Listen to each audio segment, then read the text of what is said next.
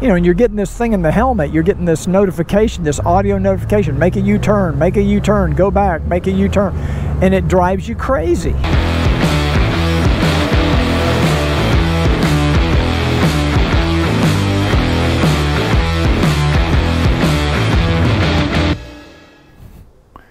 Good morning, YouTube. This is Cruiseman.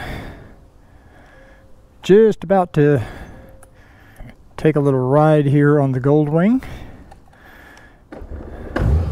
You'll notice a big difference in my latest motovlogs. I'm leaving from my house. And obviously that's because I uh, can no longer go to Einstein's for my morning coffee because they're not uh, still not allowing people in their dining room. So I've been having coffee at home for the last few weeks, much to my chagrin. I was hoping that they were going to open up last Friday because Texas lifted its restrictions on in restaurant dining but Einstein's decided to continue to only offer carry out and delivery. So Dawn and I were going to meet for coffee Saturday morning, and instead we met on Sunday and we just took our coffee over to some patio seating at a restaurant uh, a few doors down and just sat there and had a nice little conversation. But I've got a few things to share with you today. First of all, I want to thank you for joining these motovlogs. I get tons of emails and comments. It's always a mystery as to which videos get the a lot of traffic, a lot of views. Some videos you get a ton of views, other videos you get hardly any views, and it's really been it's really a challenge to kind of figure out you know, I don't really think it has much to do with the keywords or the thumbnail. I don't know. It just it's really strange. Some videos just do great, but the video I did uh, last week on, uh, I think it was titled "Am I the Only One," has really got a ton of views. And also my Garmin Zumo XT video, my review video and my first impressions videos have done very well. So I want to thank all of you, and I also want to remind you that just because I ride a Honda Goldwing doesn't mean this channel is just for Goldwing owners. Anybody who rides a motorcycle, or even if you don't ride a motorcycle, maybe you're just interested in the sport, or maybe you're just interested in what I have to say, period. More than welcome to uh, be a part of this uh, group in fact, I got a nice message from uh, Larry Carvano, who rides a uh, 2019 Harley. I think it's a Fat Bob. I'm not sure if I can't remember. My memory's not that good, but he put in a comment saying that he follows my channel, and even though he doesn't ride a Goldwing, he still enjoys uh, what we have to talk about. So, Larry, you and your fellow Harley riders are always uh, welcome here.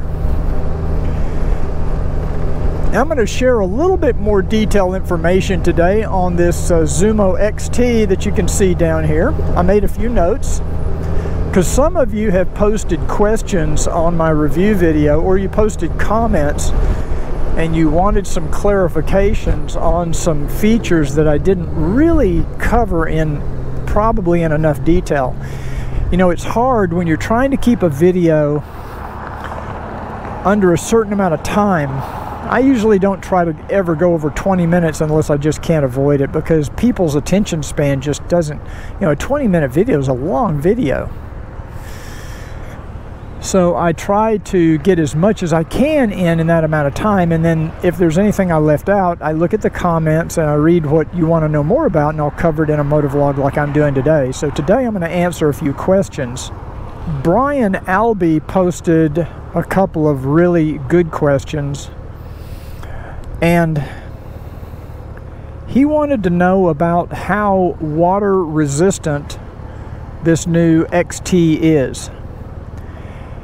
And uh, because he said he has ridden in the rain a lot with his other GPS and it seems to hold up fine. And all I can tell you is I haven't ridden in the rain with this one yet, but Garmin does claim this is IPX7 rated. And I looked it up, and what that means is this device should be able to withstand being submerged underwater up to one meter of water, which is about three feet, for up to 30 minutes and not sustain any damage. So I would say that this model is more than weatherproof enough as far as water, moisture proof enough uh, to you know withstand whatever a ride on a motorcycle in the rain would uh, provide. So I don't think uh, moisture proof is uh, an issue for this. Now Brian brought up another question is he wanted to know about the waypoint skipping. Now let me explain to you what that means in a kind of a real world example. Let's say you're riding on a route, not just riding around town normally, but you have a route planned out with waypoints where you want the GPS to notify you when you arrive at a waypoint, which is what we do with Basecamp or what we do with the uh, built-in trip planner. You're going down the highway and you either miss the waypoint or you go past it or you go off your route, you create a route and you plan to stop at a gas station in a certain town and you've placed that gas station as one of your waypoints, which is a place you plan to stop. The GPS is going to try to get you to go to that gas station and have you stop and adhere to your route. But let's say you're riding along and you decide for whatever reason you don't need to stop to get gas. You got plenty of gas. And you just want to skip that waypoint. Well, normally if if you're riding and you go past that waypoint, the GPS is going to say, uh, you know, next chance, next time you have a chance, make a U-turn or make a right turn. It's going to try to route you back to that waypoint so that you can satisfy the route that you've created. Now what the XT does, because I tested it the other day, it will alert you twice to go back to that waypoint. And after the second warning, it will bring up a screen that asks you if you want to skip that waypoint. This is a very, very powerful feature. There's also a waypoint or a next waypoint icon on the screen when you're on a route. And even before you get to that waypoint, you can click on that icon and you can tell it to skip the next waypoint. So they've really thought through how to deal with this on this Garmin XT. I know that when the first time I did a route with my built-in Honda GPS, uh, I went by a waypoint and for 20 miles the GPS kept saying you know, and you're getting this thing in the helmet, you're getting this notification, this audio notification, make a U-turn, make a U-turn, go back, make a U-turn, and it drives you crazy. And it took me forever to figure out on the Honda GPS how to get rid of that waypoint so that you don't get that warning. It's a simple process with this Garmin XT. It's very, very nice. Very well, very well executed the way they did it. Now, Bob Donlin and Motobike both posted the same question. What about this glossy screen, this, this reflective screen? Does it get a lot of reflection? And uh, how does that work with the uh, reflectivity of this screen? And yes, it does. It does get some reflection and a little bit of glare but you can easily adjust it to compensate for that. And the the benefits of this glossy screen far outweigh, and it's a TFT screen I should also mention, the benefits of this screen far outweigh any negatives. You know, you can't let the perfect be the enemy of the good or in this case, the extremely good. And I'm telling you that I would not trade this screen for any other Garmin GPS I've owned. And I've owned, I think, three or four of them. So yes, you do get a little bit of reflection. Uh, you can compensate for it, but the screen is so bright you can still see what's on the screen anyway. Now in my video, there's a couple of things, really important points I left out on the review video and on my installation video. In my review video, I mentioned to you that Garmin does not include the little plastic rain cover for the cradle. And I guess when I was shooting the video for the installation, I just completely overlooked the little, they have a little rubber cap they include. They don't, they don't include a plastic cover anymore but they do include a little rubber uh, cover that you just keep on the cable down below the GPS and then when you remove it from the cradle you just stick that little rubber cover up there over the contacts and it protects them from any rain. So I should have mentioned that in the review video. I just completely forgot it. One of you brought it to my attention. Thank you. I don't I didn't make a note of who it was, but that was a very important point that I left out.